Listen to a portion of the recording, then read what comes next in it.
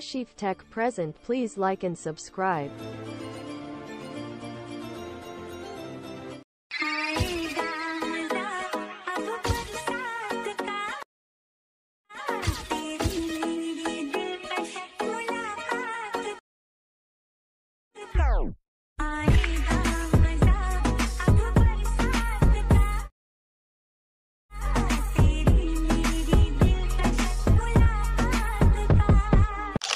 All right guys अभी जो आपने स्क्रीन पे वीडियो देखा है, इस टाइप का वीडियो आप भी एडिट कर सकते हैं। तो इसके लिए आपको एक एप्लीकेशन की आवश्यकता होगी, जिस एप्लीकेशन का नाम है एलाइट मोशन अगर आपके पास एलाइट मोशन एप्लीकेशन नहीं है तो आप हमारे टेलीग्राम चैनल से डाउनलोड कर सकते हैं। तो टेलीग्राम चैनल का लिंक वीडियो को डिस्क्रिप्शन पे मिल जाएगा। एक बार ज़रूर डिस्क्रिप्शन चेक कर लेना। जैसे आप एलाइट मोशन एप्लीकेशन डाउनलोड कर लीजिएगा देन कुछ इस प्रकार से इंटरफेस देखने के लिए मिल जाएगा। इसके बाद आपको प्रोजेक्ट पे क्लिक करना है।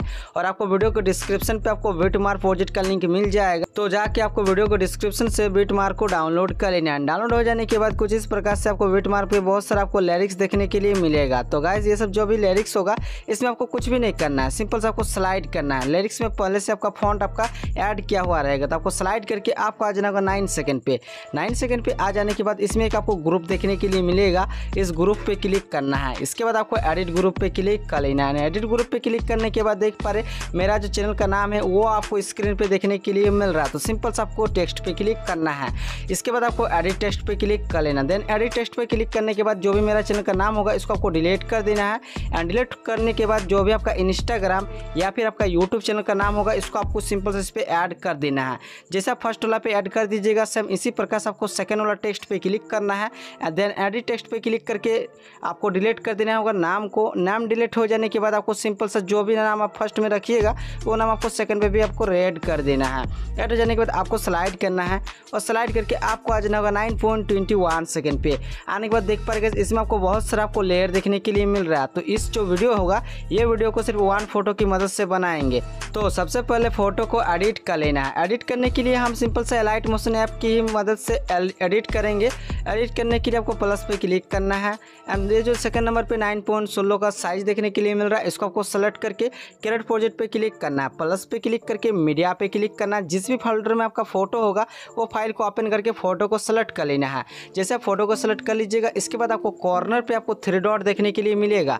तो इस थ्री डॉट पर क्लिक करना है और आपको फिल कॉम्बिनेशन एरिया पे क्लिक करके इस फ़ोटो का आपको फुल स्क्रीन साइज़ पे एडजस्ट कर लेना है। फिर भी अगर फ़ोटो आपका अच्छा से एडजस्ट नहीं होगा तो इसके लिए आपको मूव एंड ट्रांसफ़र पे क्लिक करना है और ये जो आपको स्वाइप हेड टू मूव लिखा हुआ है। इसकी सहायता से आप फ़ोटो को लेफ़्ट, राइट किसी भी तरफ़ से मूवमेंट कर सकते हैं। तो आपको अपना हिसाब से एडजस्ट कर लेना है, जो भी आपको साइज़ रखना होगा। इसके बाद थर्ड ऑप्शन पे क्लिक करके फ़ोटो को आप जूम इन या फिर आप जूम आउट कर सकते हैं। तो आपको अपना हिसाब से फ़ोटो की मदद से आपको मेरा मतलब जो भी आपका फ़ोटो का आपका साइज़ होगा, इसके हिसाब से आपको इसको एडजस्ट कर लेना है। देन एडजस्ट हो जाने के बाद आपको ये वाला एरो पे क्लिक करना जो सेटिंग का बगल पे शेयर वाला ऑप्शन देखने के लिए मिल रहा है। इस पर आपको क्लिक करके करंट फ्रेम पी पे क्लिक करके सिंपल से एक्सपोर्ट पे क्लिक कर देना है। देन एक्सपोर्ट पे क्लिक करने के बाद आपको सेव पे क्लिक करके क्लोज आ जाना है।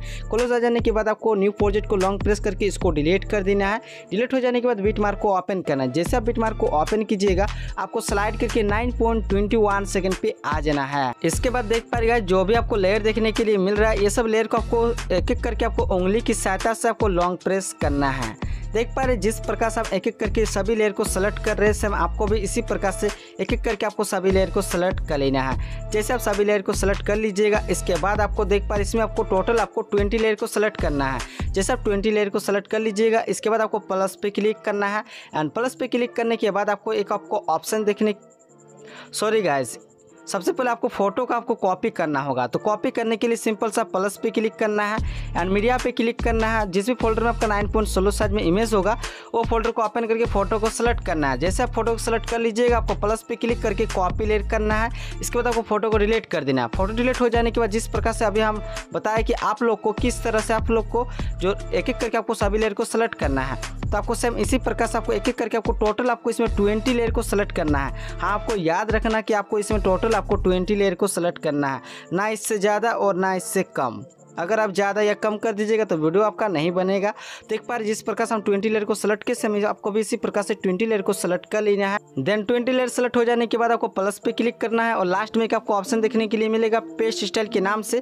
तो इस ऑप्शन पे क्लिक करके, एक एक करके आपको सभी ऑप्शन को ऑफ़ करके सिर्फ़ फ़र्स्ट वाला ऑप्शन को ऑन रहने देना जिसका नाम है कलर एंड फील इसके बाद आपको सिंपल सा पेस्ट पे क्लिक कर देना है।